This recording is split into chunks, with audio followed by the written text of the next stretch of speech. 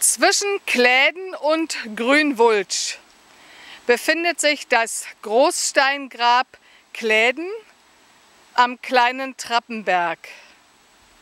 Nebenbei finden wir hier noch eine zerbrochene, sehr große Grabplatte. Wir erkennen die Worte Kläden und Darnewitz.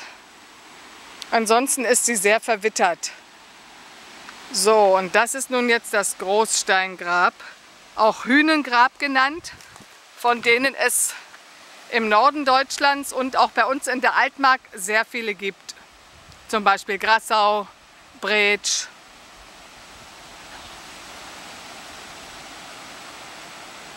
Das erstreckt sich wahrscheinlich noch ein bisschen nach links.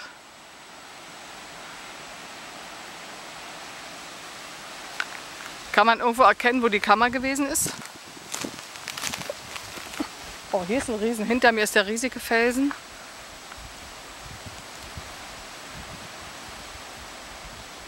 Steinfeld nicht zu vergessen.